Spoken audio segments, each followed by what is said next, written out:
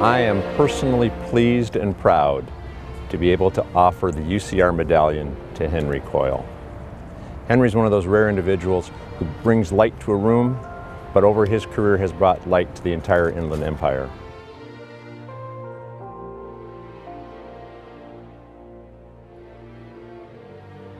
He really is just sort of a pillar of the community.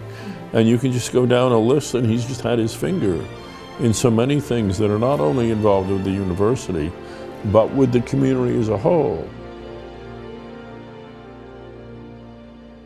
There are certain things he has a passion for. And one is obviously his architecture and building, but it went beyond that he has a passion for the arts, whether it's the photography that he does and the photography he's collected, uh, and the institutions that help to perpetuate that love so that other people can experience it.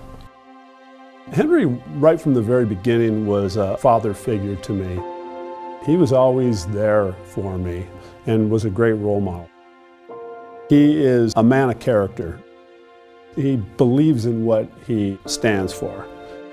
He has set a great example for the rest of us in the community. He's not only devoted time and money, he's devoted a lifestyle to providing back.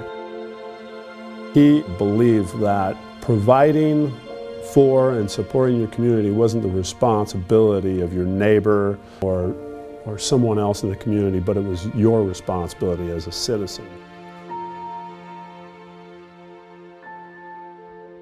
The impact that Henry's had on the UCR Arts Block has been tremendous, and I think that kind of speaks to his humility and his desire to really be an example for the community. I like doing things that are meaningful, and I like leading by example.